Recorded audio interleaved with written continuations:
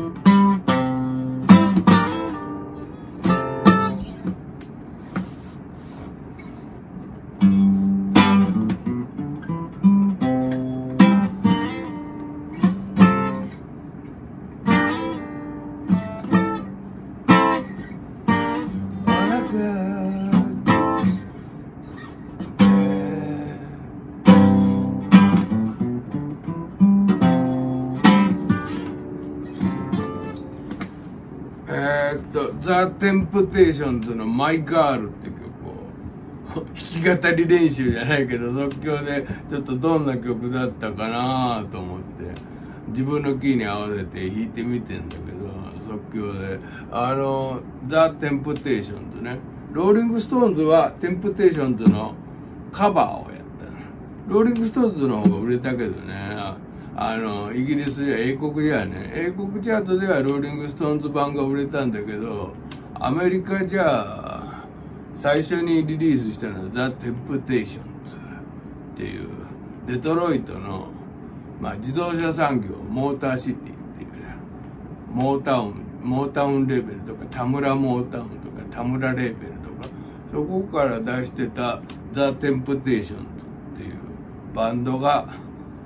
ボーカルグループが最初にやってバックのバンドはファンクブラザーズって言ってあのジャズマンがジャズマンが集まってモータウンレまあ田村モータウンスタジレーベルのスタジオっていうのはあのデトロイトのジャズメンがあの集まってスタジオハウススタジオマンハウススタジオミュージシャンとして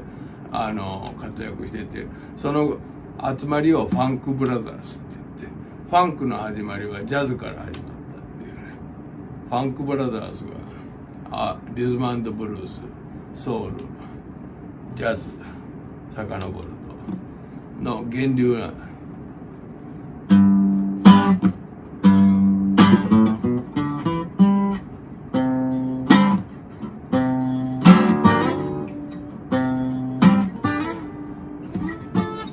ごいあのリスペクトしてるんだけどファンクブラザーズの演奏とかあの作曲チームいいかん全全員っていう以降全員